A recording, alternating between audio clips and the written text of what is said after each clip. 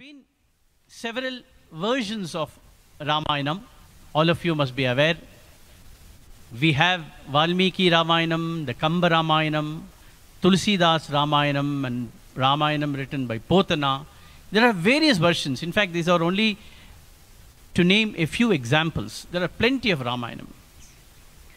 But of all this, perhaps the best and the authenticated Ramayanam is the Ramakatha Rasavahini written by Bhagavan Sri Sathya Sai Baba. This is just not a narration of a story or an episode. In fact, we can even say it is an autobiography of Sri Rama written by Sai Rama himself. Ramakatha Rasavahini is full of messages such that we need, an, we need a saptaham of this type, not just to share the incidents and the stories and the episodes which happened in Ramayana, which all of us know. We need to dwell upon the inner significance, the takeaway messages, which will help us in leading our lives better as individuals, in family, in society, in profession. Towards that is this Ramayana Saptaham. And to share today's topic on the inner significance of Ramayanam, we have Dr. G.S. Srirangarajan, who is, all of you must be aware, is the faculty of the Brindavan campus. I'll just give a brief introduction. Srirangarajan sir is qualified as a BE in industrial production. He did his MBA in systems from the Sri Sathya Sai Institute of Higher Learning, Prasanthi Nilayam. Presently, he is the associate professor in this Brindavan campus. Prior to this, he had two important positions. He was, in fact, the controller of examinations in Prasanthi Nilayam, as well as the warden of this very same Brindavan campus. Today, Srirangarajan sir, he is going to share on the inner significance of Ramayana. Over to you, sir. Sairam. pranams at Bhagwan's lotus feet, respected members of the august gathering, respected elders, brothers, sisters, and my dear students. A loving Sai Ram to all of you and a very, very happy Sri Ramanavami. Ramaya, Rama Bhadraya, Ramachandraya, Vedhase, Raghunathaya, Nathaya, Sitaya, Pataye, Namaha. Invoking the blessings of our beloved Sai Rama, in the next hour or so, I would like to dwell upon some important messages from this great epic Ramayana First of all, I have used a couple of pictures on my slide only to enhance the impact. I've taken it from various sources. I'm very grateful to all these sources. Many of them I know not, but I'm very grateful to these sources. My talk will be presented in three modules, three important messages from the Ramayana. The first 20 minutes is on how to choose good over bad. How do you differentiate between good and bad? And then we'll have a bhajan. Just in case we have slept, we can wake up. The second module is on the aspect of surrender. What is true surrender according to Swami? And how we can learn this from the Ramayana. Again, we'll have a bhajan after that. And then the last 20 minute module is on how to be a true instrument of Bhagwan. So, with your permission, we will begin. As I said, the first module is how to choose good over bad. In Bhagwan's words, in Vedic scriptural parlance, it is called Shreyas over Preyas. Typically, Swami says Shreyas is something which is inward, It may appear to be difficult, but eventually it leads to good. Preyas is just the other way around, appears to be initially very good, but can land you in soup. So when you look at this picture, I hope the audience gathered here is able to see this picture. Is this good or is this bad? For those who cannot see clearly, some person is giving cash to the other person. So many thoughts can come in a mind. It could be good, it could be bad. God knows what it is. Same way, Bhagwan gives his example of a knife. I took a kitchen knife, so obviously it's good. But assuming it's a knife, a knife can be used for many things. It can be used for good things. It can be used for bad things. Our director of the hospital is here, and all the doctors use it for a very good thing, which is to save patients. So Swami says, same knife can be used to save a patient, but the same knife can also be used for wrongdoing. So in this world, how, we, how do we decide what is good, what is bad? The first thought that came to my mind was, should it be based upon the constitution? Should the constitution of the country tell us this is good, this is bad? But to get into that, it takes a long time. And only when it's very clear and very structured, it becomes a constitutional right. Or is it decided by the society collectively over a period of time? Society decides, hey, this is right for society, this is not right for society. Or, as in Dharma Vahini, Bhagwan says, is it the intention? Oh my God, but who knows the intention? Only I know the intention of my act. Nobody outside can know the intention of my act. Or is it based on outcomes? Because ultimately, how is it going to impact? When we talk of outcomes, there are two types of outcomes. One is impact on the society, and the other is impact on the individual. So, to understand this concept of good or bad in a nice way, in a clear way, I have tried to build a structure to it. So I'm going to build a matrix as you can see. On one side is the individual, the outcome may be good or the outcome may be bad. On the other side is the society, the outcome may be good or the outcome may be bad. So we have four quadrants as they call it here. The first quadrant as you can see below, bad for the individual, bad for the society, Needless to say, let us not even talk about this here in this gathering. These are to be completely avoided. The other quadrant is good, good. Good for the individual, good for the society. Obviously, this is what we should be doing, and there is no moral dilemma about this. But where do we need to learn lessons from the Ramayana is the other two quadrant. This obviously is a tick. What if it is good, bad? good for the individual, but we know it is not good for the society. Should we take up such things? What if it is BG, bad, or rather apparently bad for the individual, but I know it's good for the society? Should we be doing this? So, in the next 10 minutes or so, we'll try to delve on the two question marks because the other two are very clear. One is a no no, and one is a yes yes. So let's start with one episode. We can see Ravana, great person, learned person. Bhagwan says the only thing he lacked was control over his senses. Unfortunately, he got this thought of taking over Mother Sita. In the short run, Ravana felt it is good perhaps. He did not think about the society. He did not think about the impact on the society. So if you see, where does Ravana abducting Mother Sita come? It comes in good for the individual. Ravana thought it's going to be good for him. Somehow he felt this urge. He did not think of the society. What will be the impact if you take away some other person's woman? Is it really correct? Tomorrow it could happen with you. He did not think about this. And what happened eventually was, we all know the story. Ravana got destroyed, Lanka also got destroyed.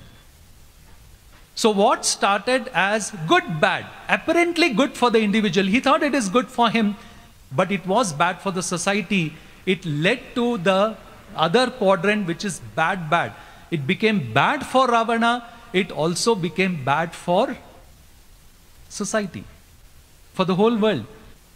So, one understanding we get from Ramayana, we'll see some more examples, is what appears to be initially good for you, but you very clearly know is good for the society, is never be going to be good either for you or for the society. Let's look at the other side. This is Vibhishana, the brother of Ravana. We all know initially he did not know really what to do. Mother Sita was there in Lanka. He knew what Ravana is doing is wrong. He didn't know how to oppose him. And one fine day he mustered all the courage. He said, Brother, I don't care. I will leave you, but I will go to Rama. It's nice to talk about as a story, but suppose I have to do it in my house with my own elder brother. It's not going to be easy. So, what Vibhishana chose was apparently bad, fighting against his own brother, who was the king of Lanka. It would have led to so many negative outcomes, so much of discomfort in the family, in the palace, in the kingdom. So, apparently bad for Vibhishana. As you can see, bad individually, so apparently bad for Vibhishana, but he felt it is good for the society. He said, ultimately, I should side with dharma and not adharma. And what happened eventually?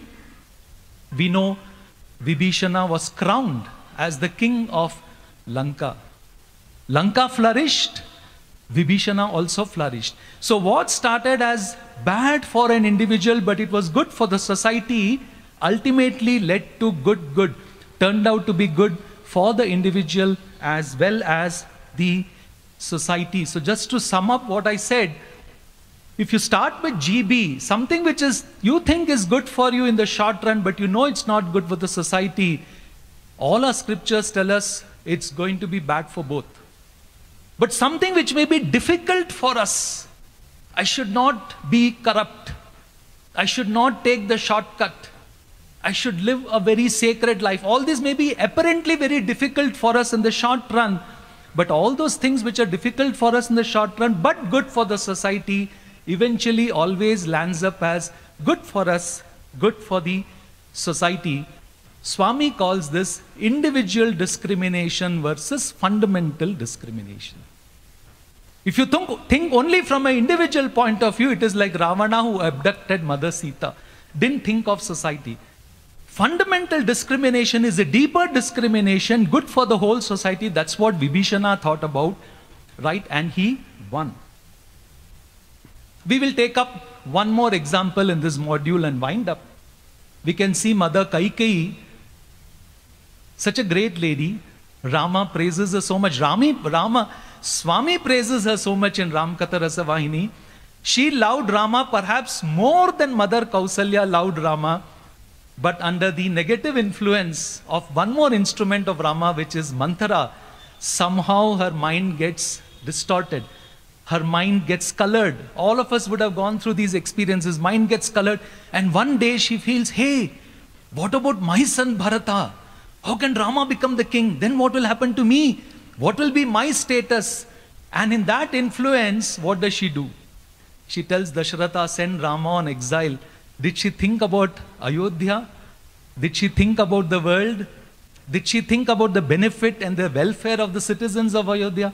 Nothing. She thought only about herself, which is good for the individual, but I think she also, heart of heart, knew it's not good for the society in the long run. So it started with good, bad. Good for the individual, bad for the society. What happened? Most important for a wife is her husband. She lost Dasharatha. She became a widow. The very purpose for which she did all this that Bharata should become the king, he came and refused. Bharata himself said, Mother, I don't want this kingdom. Again, she lost. And Rama went on exile. We talk of lose lose. This is lose, lose, lose, lose situation. Everywhere Kaikeyi lost. So good, bad became again once more bad, bad. What is not good for the society and may be good for you will never work out in the long run. Mother Sita you know, she, she, we all know the story how she argued with Rama saying, I will come with you on exile. She could have easily opted and you know, work from home option and stayed back happily in, in Ayodhya. But she argued with Lord Rama and undertook all those trials and tribulations in the forest, right? She was ready to go with Lord Rama on exile. Was it really good from an individual point of view? It was very difficult, very challenging. But Swami says that's it. If it is very challenging, very difficult, but if you feel it's good for the society, you should go for it. What happened when Lord Rama went for exile? He destroyed all the demons in the forest. He saved Lanka, gave it a great king, Vibhishana. He came back to Ayodhya and ruled as the king of Ayodhya. So here again we see what started with bad good. Apparently bad for Rama or Sita turned out to be good for all of them. Win-win situation. Once again, reiterating the same fact, something which may be good for us in the short run, but we know is good for the society will never work out for both. It will become bad, bad. Something which may be apparently challenging for us, difficult for us, but it is good for society will always land up as good, good. This is what Swami says short term perspective versus long term perspective. Always have a long term perspective in life. I'll just quote this one shloka from Gita, which Bhagwan often quotes. That which in the beginning may be just like poison, but at the end is just like nectar. So Swami would say, Aim Kavali. You want poison now, nectar in the long run, or you want nectar for a few minutes and poison for the rest of your life? We have to make that choice. Ramayana helps us to make that choice. So, to sum up, that quadrant of bad bad is a lose lose situation. Let's never ever get into it. And obviously, we wouldn't get into it because it's bad for the individual also. Good, good. If it's good for me, good for the society, please go ahead. Environmental protection, all that we talk about today is good for everybody. So we should go for it. If it is good, bad, as I said, it is a win lose situation, never go for it.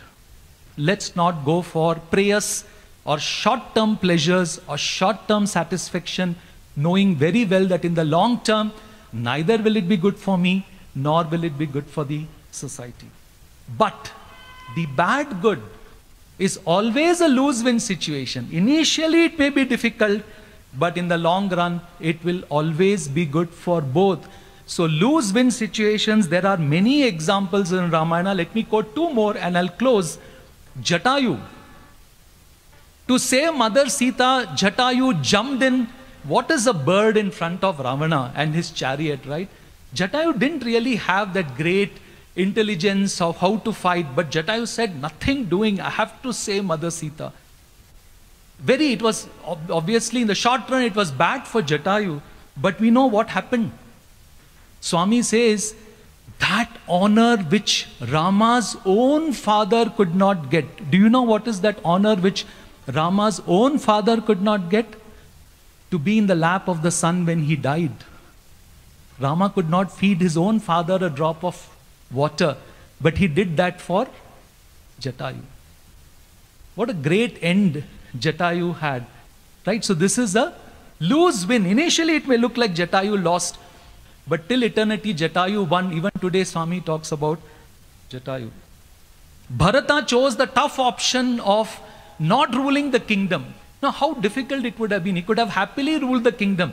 Because anyway, you know, there was no choice. Rama had left. He could have become a king, at least enjoyed those 14 years. He didn't do that. He kept Rama's padukas there. He struggled. He suffered. He lived like an ascetic. As challenging as it was for Rama, it was for Bharata. Right? It appears like he lost. But what happened towards the end? If you, have, if you would have read Ramkatha Rasavahini, Swami says when Rama was coming back to Ayodhya, people garlanded Bharata. Do you know why? They looked alike. Bharata was so lost in thinking about Rama, it is said that Bharata Rama looked like twins. They looked alike. People didn't know the difference. They went and garlanded Bharata. What a great honor Bharata got.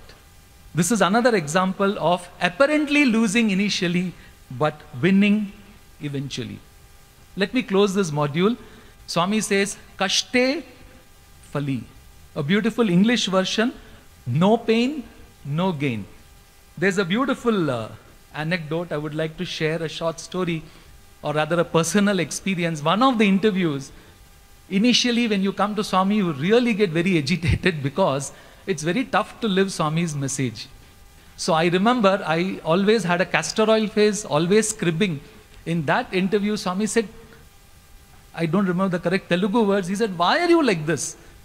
I said, Swami is so difficult practicing your teachings. This is the example Swami gave. He said, Take an orange, sweet juice inside. But to protect that sweet juice inside, God has put a bitter skin outside. Only when you peel out the bitter skin slowly, you will get the sweet juice inside. So that day I understood life is also like an orange. We have to slowly go through all challenges and eventually we will experience the sweet juice inside. So, recalling this message, let us have the first bhajan and then I will continue with my second one. Shri Ram Jaya Ram Jaya Jaya Ram Janaki Jeevan Ram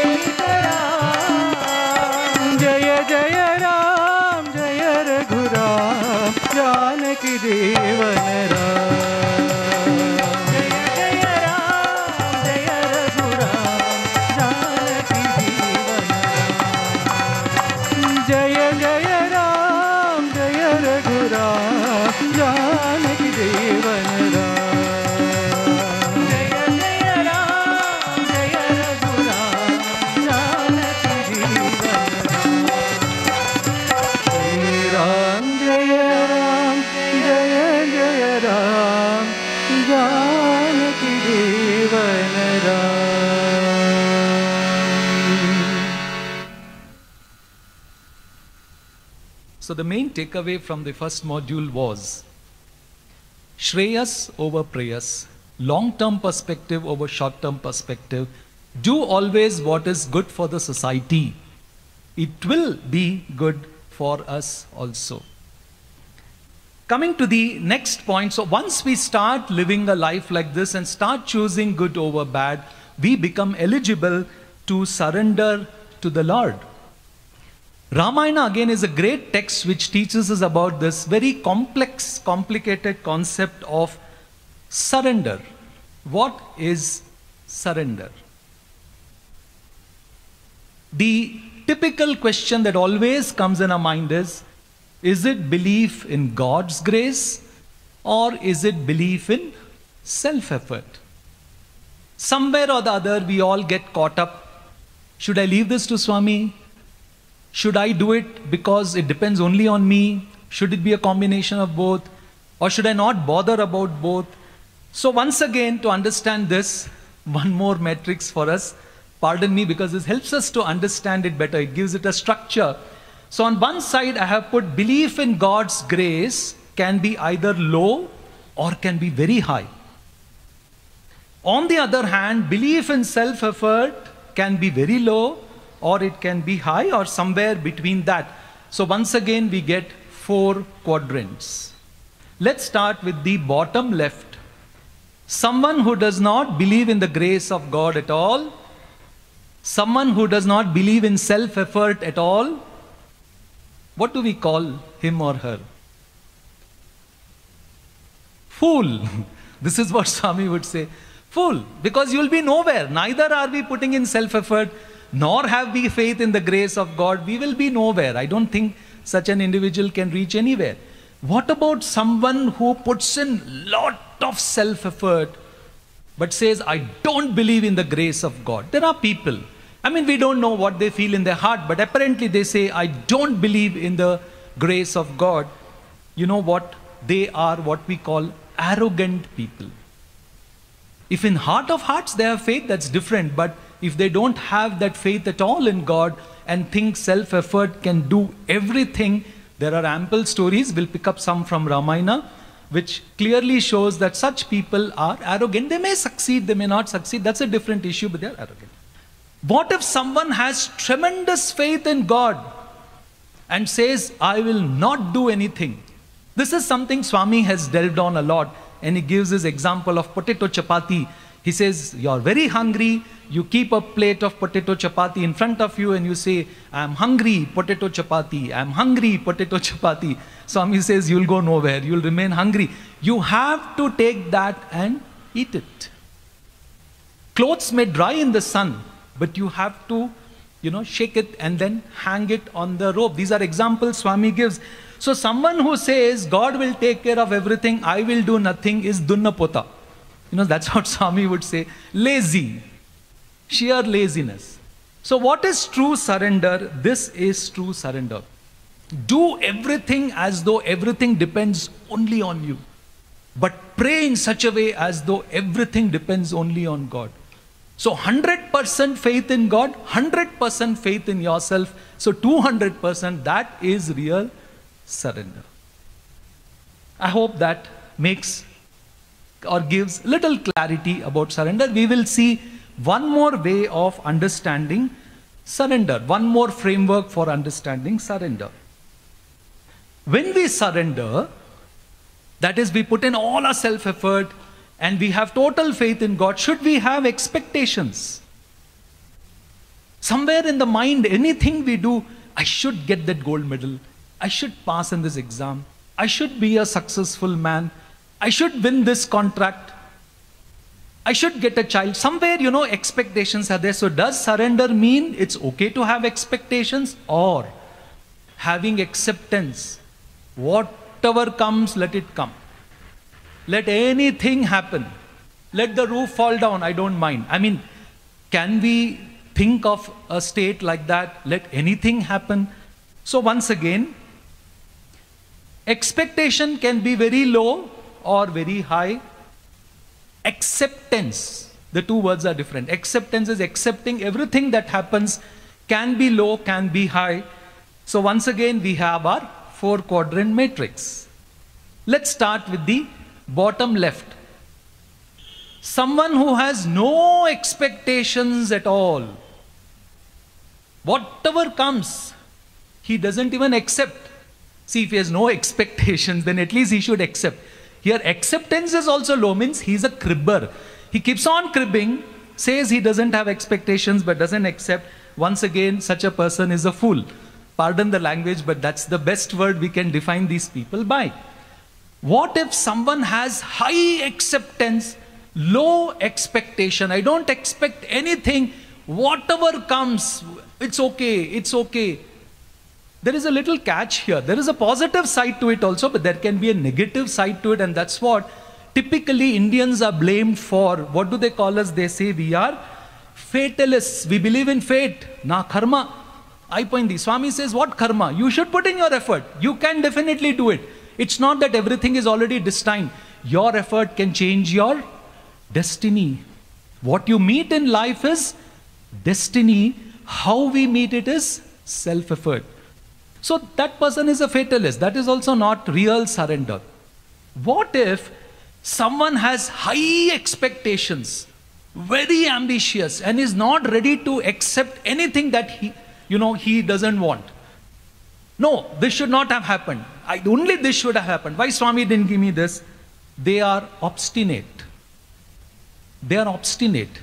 They don't know where to bend their head down and where to really fight it out. And they get caught up in this obstinacy.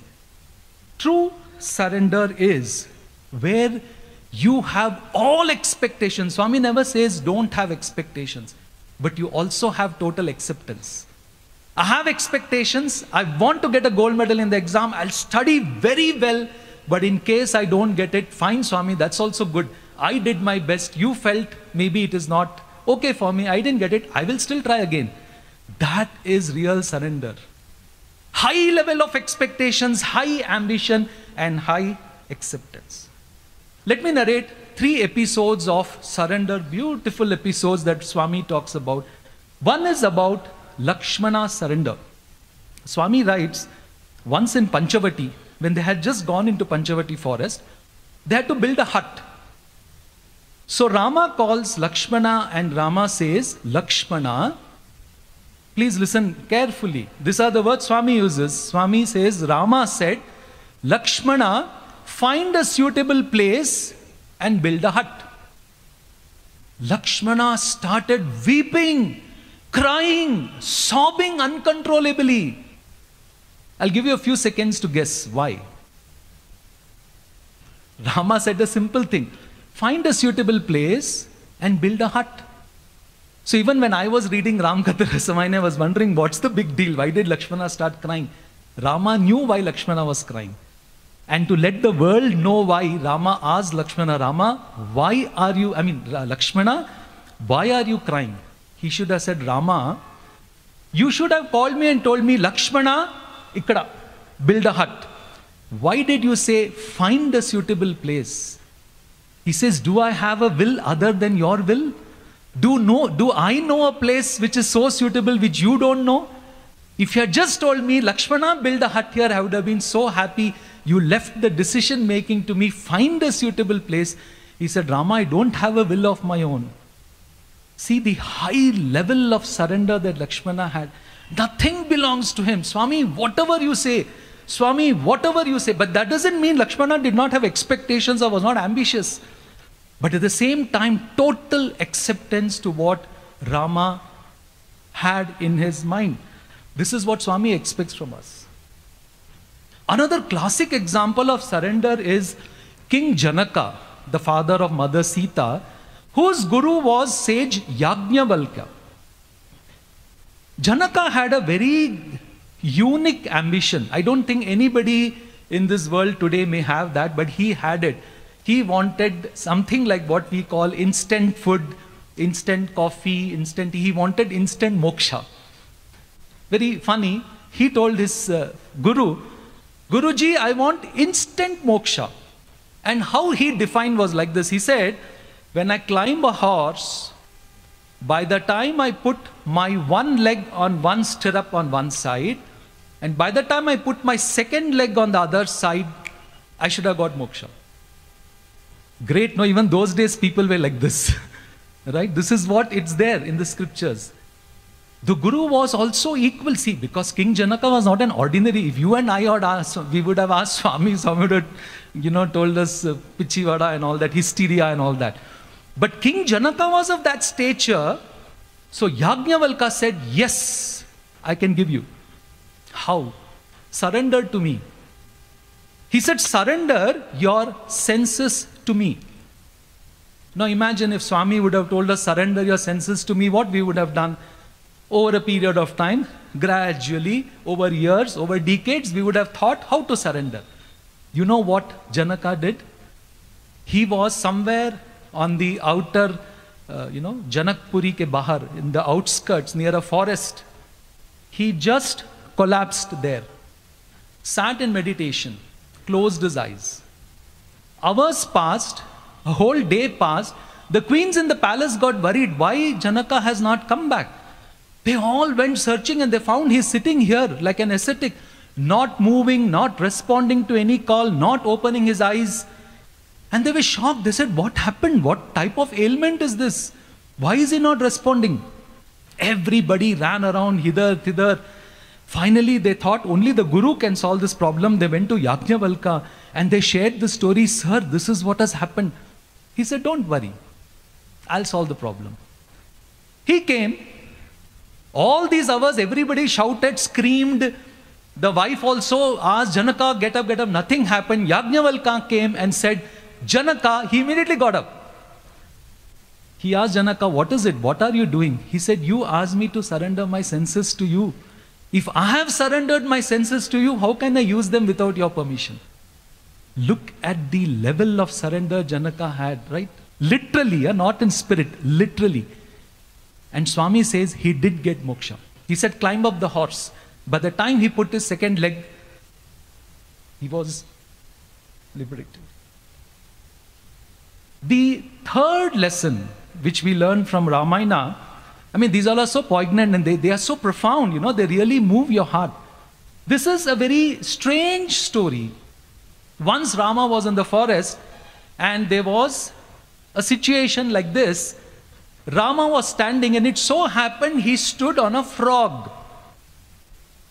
And Rama, Ajana Bahu, and this frog is so small. So naturally, the frog got wounded and it, oh, it was struggling. Later on, when Rama moved away, he saw this frog and he said, Are re, Papam, why did you not call out to me? Frog is smart. It said, Rama, whenever I have any problem in life, I call out to you. Any problem. If you yourself give the problem, if you yourself give the problem, whom should I call out to? Rama said, You have to call out only to me, even if I'm giving you the problem. So many times in life, we are very clear, Swami, you're creating this problem for me, but then the lesson is only one surrender to Swami, surrender to Swami. Whenever you're in doubt, surrender to Swami. So that is real surrender. I'll close this module with little epilogue to surrender.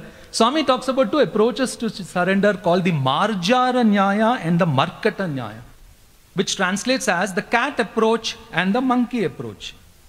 If you would have seen how cats logistics, how they take their kitten from one place to another place, they hold this kitten in their mouth and the entire onus of protecting the kitten is only on the mother cat. Please observe. The kitten doesn't do anything, it is just hanging like that. The entire onus is on the mother or Swami to take care of the kitten. This is the Marjara approach or the cat approach. Have you seen what happens with monkeys? This is very common even when we go to forest areas. In monkey, it's the other way around. The child has to cling on to the mother, as you can see here. The mother doesn't I'm not saying doesn't care, but mother keeps jumping from tree to tree. Hello, buddy, you better hold on to me. If you leave, you go. This is another approach. Swami says both approaches are okay. Both approaches are okay. It is not digital in nature, just that among us, something will be more dominant. Either the cat approach, where we say, Swami, you take care of everything, I just don't know anything Some of us are dominant in this, the others are dominant saying, Swami, give me the strength, main karunga, you know, that sort of thing. That approach is also okay. So either become a baby in Swami's hands and say, Swami, I don't know anything, take care of me, or you hold on to Swami's hand. Let's do a quick survey to find out which is more dominant in us. Only three questions are there, and once you get an answer, you know which is dominant in you. First one before carrying out a very tough task, for students, it could be writing an exam. Which of the following prayer to God would you be more comfortable in making? Oh God, please execute this task through me. This is the cat approach. The monkey approach is, oh God, please give me the strength to execute this task. They may sound similar, but you see there is a big difference between the two statements. Which one appeals to you? Before playing a match, since many students are here, I thought of putting this. Before playing a match, which of the following prayer to God would you be more comfortable in making? Oh God, please help my team win the match. Or God, please help all my members of the team to play the match well. Cat or monkey? When you're down with an ailment and admitted in the hospital, which of the following prayer would you make? Oh God, please cure me fast. Oh God, give me the strength to go through this particular ailment. A is the cat approach, B is the monkey approach.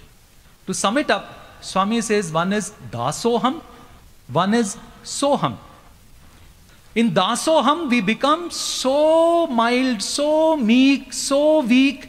Swami is okay with that.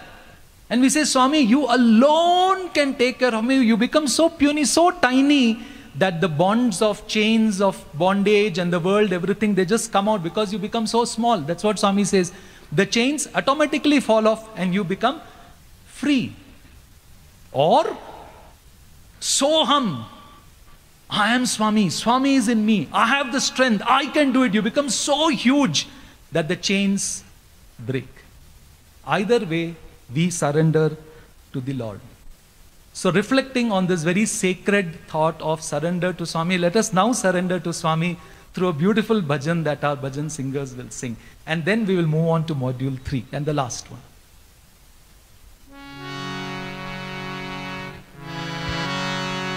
Karuna समुद्रश्रीरामा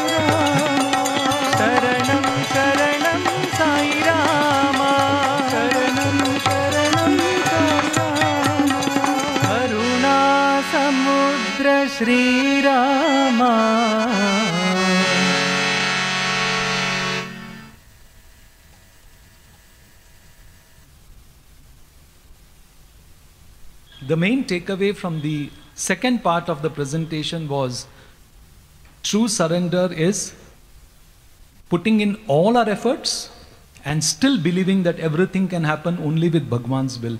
The two go hand in hand. Also, nothing wrong in having expectations. We can have all the expectations, otherwise, where is the motivation to work?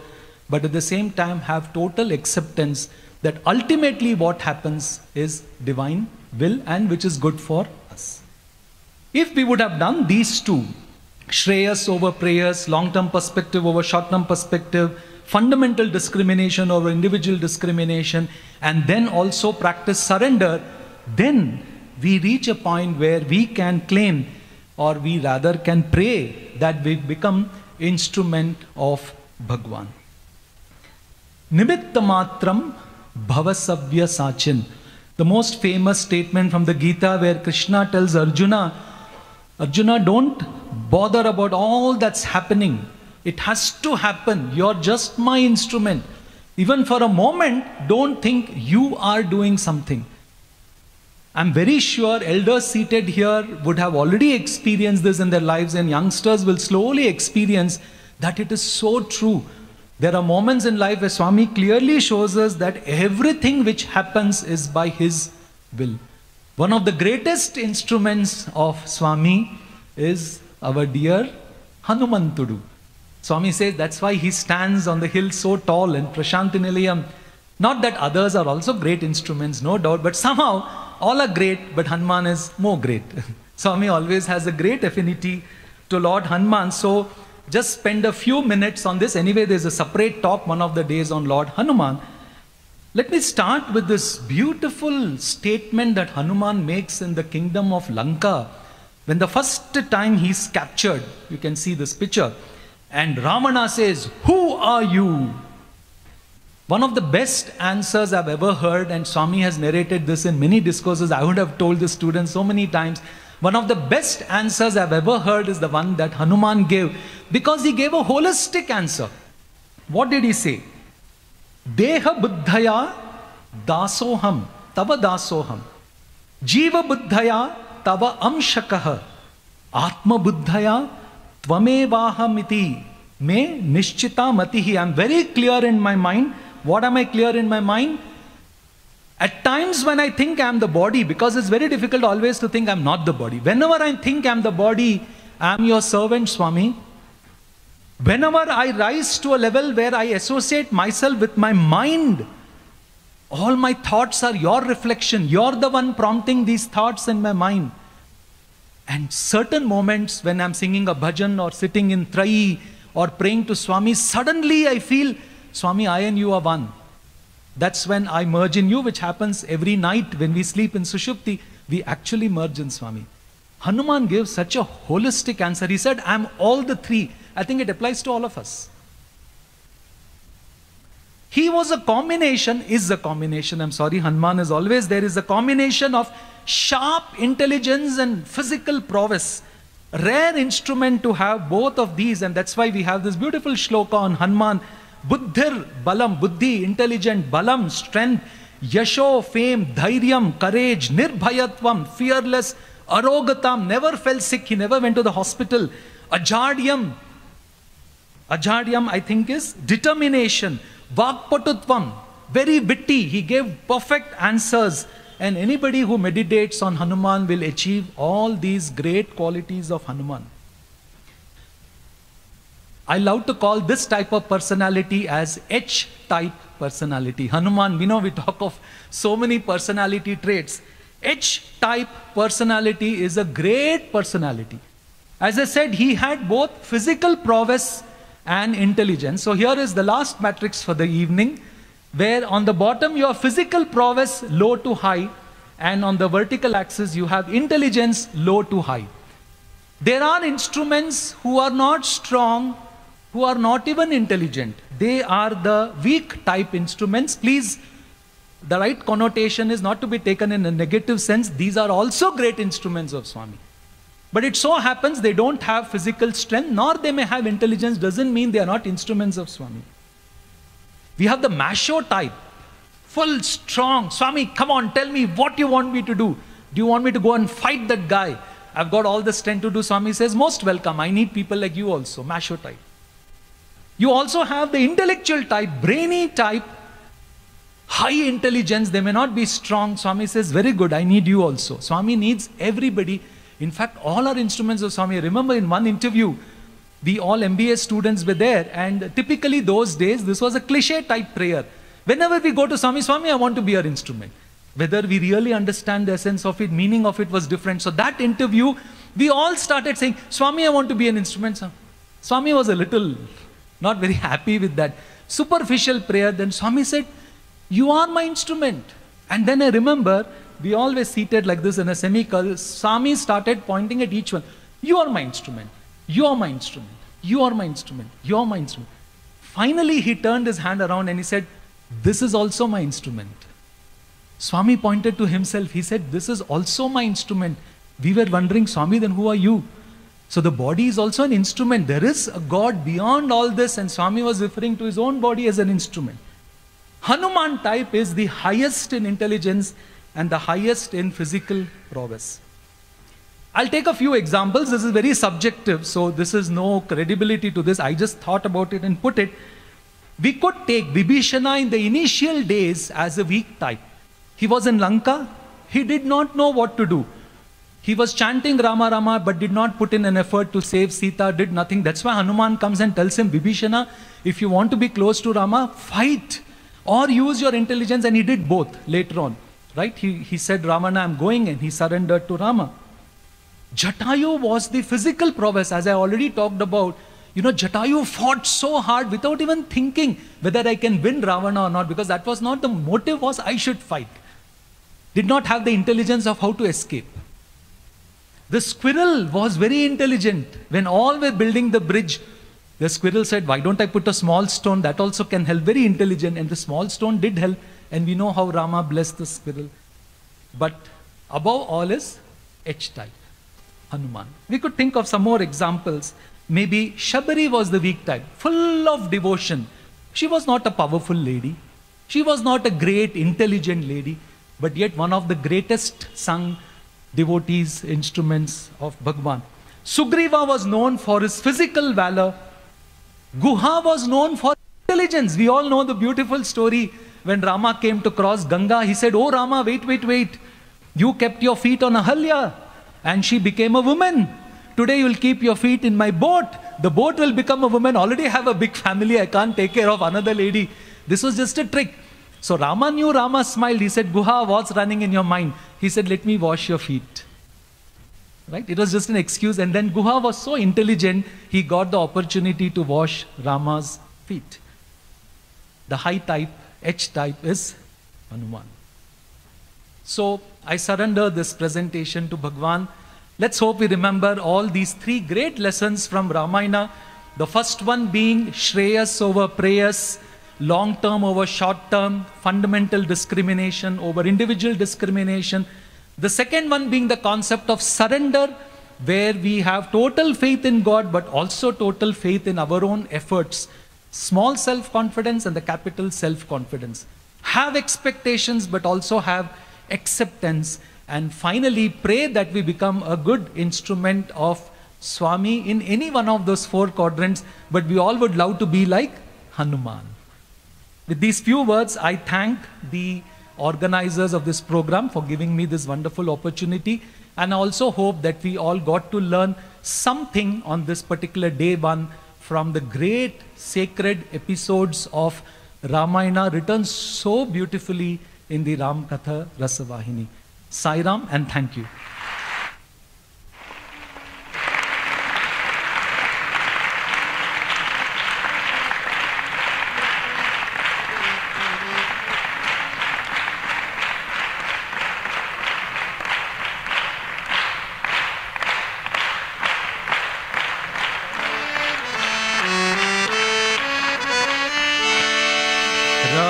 Lakshman Janaki. जय बोलो Hanuman.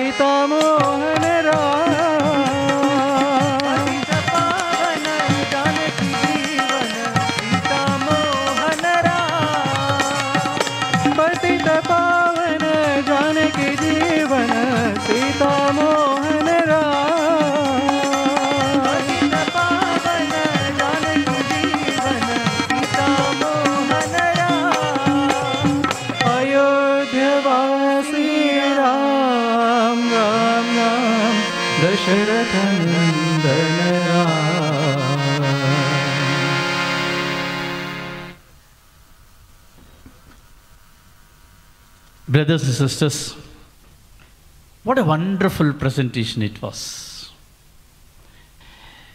Did we hear stories about Ramayana?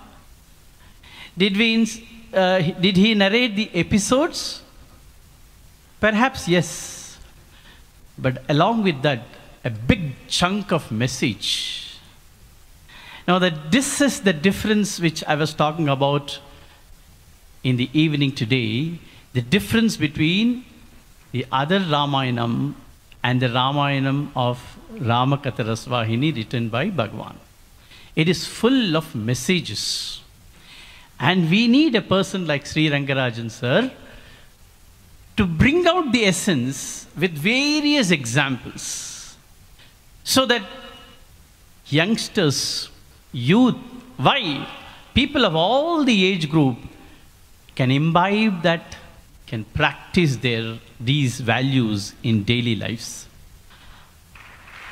A big round of applause once again to Sri Rangarajan sir for a wonderful presentation. A presentation which was outstanding in the sense that it was not the run of the type Ramayana discourse on the ignorant significance of Ramayana, but scientifically, ideally for youths, he has brought, the, brought out the essence with three matrix. Now, what are the three matrix? One, just to recap, is about Shreyas and Preyas, the important aspect of individual discrimination versus fundamental discrimination. The second matrix or the concept was about surrender, self effort versus God's grace. And the third was about the aspect of nimitta matram or the instrument of divine, the H type of personality as portrayed by Rangarajan sir. Now, tomorrow we will be having again Sri Rangarajan sir. Please clap for him. We will have the pleasure of listening to Mr. Rangarajan sir again, Sri Rangarajan sir, on the divine character of Sri Rama. On the divine character of Sri Rama. Not only tomorrow, but on all the days, we will be sharing the insights of Ramayana. Of course, it will have a lot of episodes connected to it, but with the emphasis on all the presentations until the 5th of April is on the insights of Ramayana. Brothers and sisters, there is a lot of takeaway messages from this Ramayana Saptaham. Request all of you to come on all the days and be a witness to this Ramayana Saptaham. I especially request both the director of Brindavan campus, I take this opportunity to even request the warden to please allow the students to come and benefit the messages of Swami on Ramayanam. Now, I have an announcement that tomorrow, as I told you, we will have the topic Divine Character of Sri Rama. Tomorrow's session again will start at 5 o'clock in the evening with Vedam and Bhajans and continue with the presentation of Sri, Sri Rangarajan and Mangalarti to Swami. May I now request Sri, Sri Rangarajan sir to offer Arti to Bhagwan. ॐ जय जगदीश हरे स्वामी सत्य साई हरे भक्त जना संरक्षक भक्त जना संरक्षक पति महेश्वरा ॐ